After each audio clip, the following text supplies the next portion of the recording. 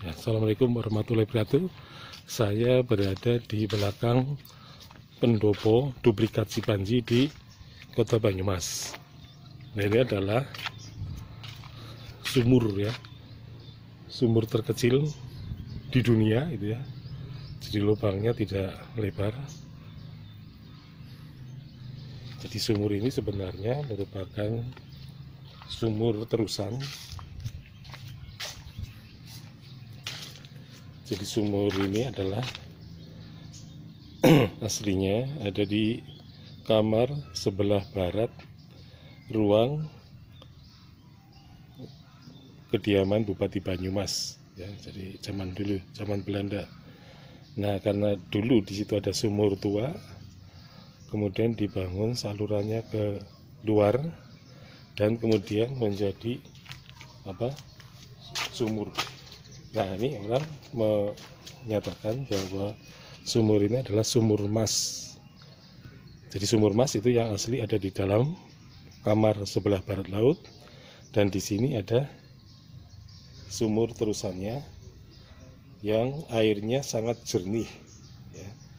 Jadi tidak semua orang bisa mengambil air ini meskipun musim hujan Sungai Serayu itu hampir penuh airnya, tetapi sumur ini bisa jadi kosong tidak ada airnya.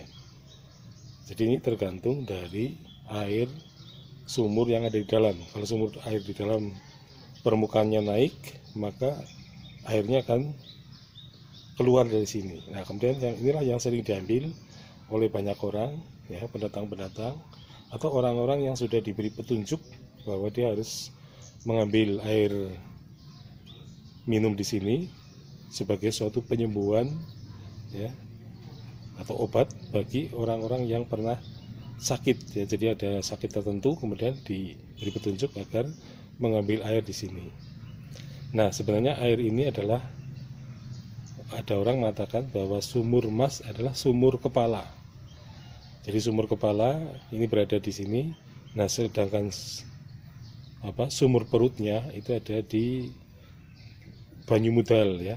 Banyumudal itu di sebelah barat apa Bangsa ya desa Bangsa.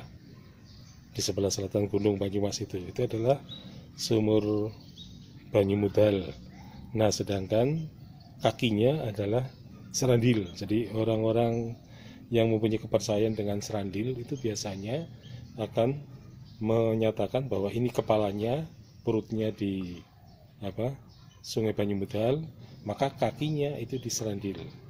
Jadi ini merupakan kepercayaan masyarakat Banyumas tempo lama yang nanti berkaitan dengan eh, apa awal mula ya terjadinya sumur emas ini.